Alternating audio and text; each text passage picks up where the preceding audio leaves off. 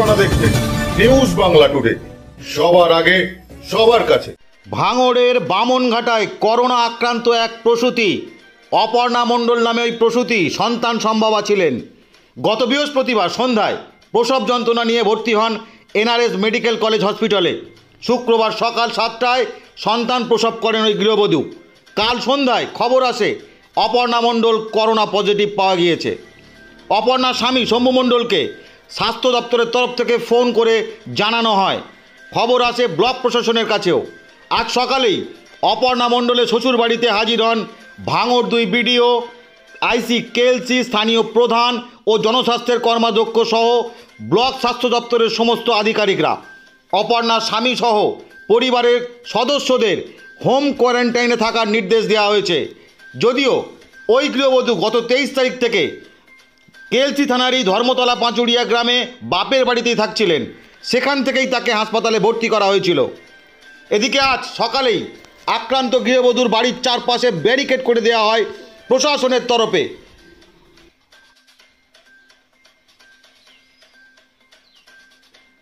চলুন এবার আমরা শুনে নিই আক্রান্তের স্বামী শম্ভু মণ্ডলের সেই স্বীকারোক্তি আপনার নাম কি শম্ভু মণ্ডল? আপনার স্ত্রীর নাম অপর্ণা মণ্ডল? আপনার স্ত্রী হচ্ছে সন্তান সম্ভবা ছিলেন? গত বৃহস্পতিবার এনআরএসে ভর্তি হয়েছিলেন বাচ্চা হওয়ার জন্যে? তারপরে পরের দিন আপনার কি বাচ্চা হলো? তারপর?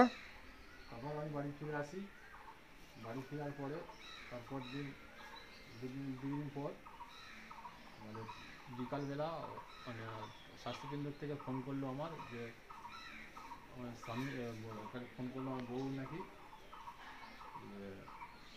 যে positive positive corona positive corona positive তা ওখান থেকে হসপিটাল থেকে ভাঙুর হসপিটালে নিয়ে গেছে। এখন আপনার স্ত্রীকে ভাঙুন হাসপাতালে নিয়ে যাওয়া হয়েছে? হ্যাঁ। আর আপনাকে আপনাদের বাড়ির সবাইকে হোম কোয়ারেন্টাইনে থাকতে বলেছে? হ্যাঁ। আজকের কারা কারা এসেছিলেন? থানার বড়োবাবু এসেছিলেন আর আমাদের পঞ্চায়েত প্রধান এসেছিলেন। হ্যাঁ। আবার হেলথ সেন্টার থেকে দিদিমণিরা এসেছিল। আচ্ছা বিডিও সাহেব এসেছিলেন? দিদিমণি সাহেব এসেছিলেন। আচ্ছা। এসে ওরা বলে গেছে।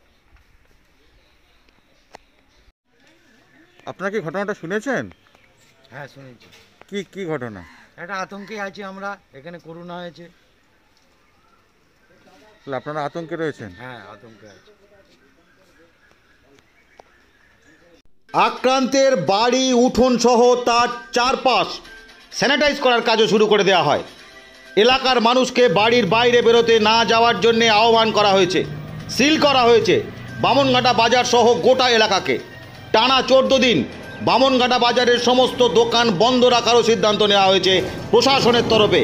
তবে ওষুধের দোকান ও দুধের সাপ্লাই চালু থাকবে বলেও জানানো হয়েছে।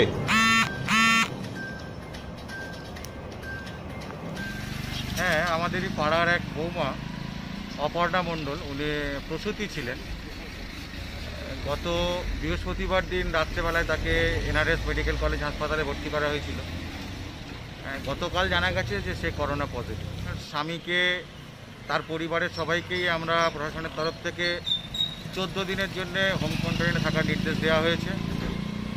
তার স্বামী শম্ভু মণ্ডল তাকে অলরেডি তাকে বাড়িতে শিফট করে দেওয়া হয়েছে তাকে সে বাড়ি থেকে বেরোতে পারবে না। আর পরিবারের বাকিদেরও হোম কোয়ারেন্টাইনে রাখা হচ্ছে। এখন ব্যাপারটা হচ্ছে আমরা মানুষকে এই বার্তাই দেব যে আপনারা ইতিমধ্যেই এলাকায় আমরা আজকের থেকে প্রশাসনের তরফ থেকে সম্পূর্ণভাবে এটাকে রেড জোন হিসাবে এমনিতেই ছিল দক্ষিণ চব্বিশ পরগনা। তার মধ্যে এই করোনা পজিটিভ ধরা পড়ার পরেই পুরো এলাকাটাকেই আমরা একদম নাকাবন্দি করে দিচ্ছি প্রশাসনের তরফ থেকে। আজকে সকালবেলায় বিডিও সাহেব, ওসি, বিএমএইচ, আমাদের লোকাল প্রধান, আমরা থেকে আমরা অলরেডি জানিয়ে দিয়েছি যে এলাকায় আজ থেকে চোদ্দ দিন পুরোপুরি এলাকা সিল হয়ে যাচ্ছে। কোনো দোকান বন্ধ সমস্ত দোকান বন্ধ থাকবে। বাজারঘাট বন্ধ। কোনো মানুষ রাস্তায় বেরোতে পারবে না। আর আমরা প্রত্যেকের কাছে আহ্বান রাখছি, আপনাদের কাছে, সকলের কাছে আমরা করজোড়ে আবেদন রাখছি। বামনঘাটা তথা সমস্ত ভাঙড়বাসীর কাছে আমাদের করজোড়ে নিবেদন। আপনারা ঘরে থাকুন ঘরে থাকুন ঘরে থাকুন। ঘরে থাকা ছাড়া আর কোনো উপায় নেই। কেউ রাস্তায় বেরোবেন না, বাজারে আসবেন না।